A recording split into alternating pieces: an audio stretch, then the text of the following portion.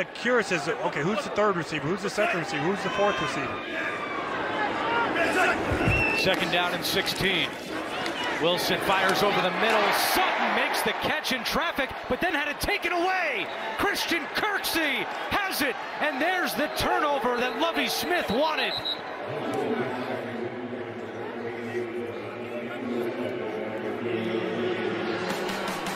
Christian Kirksey makes a big play for this Texans defense, and they will take over in Denver.